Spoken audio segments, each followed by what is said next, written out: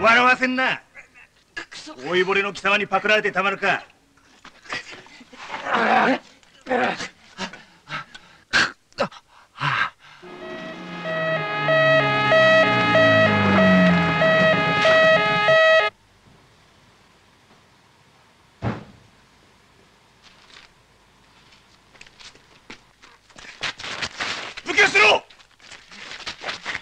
この汚れがぶち殺されてもいいのか。大文句。私に構うな。この笠松をパクれ。かっこつけるんじゃねえ。ぶち殺してやる。待て。自分が身代わりになる。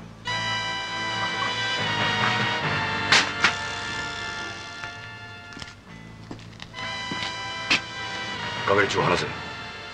大文句。君それは手を挙げろ大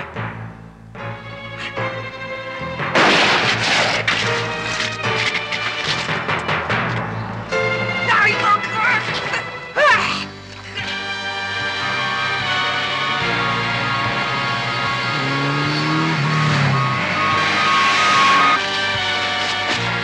係長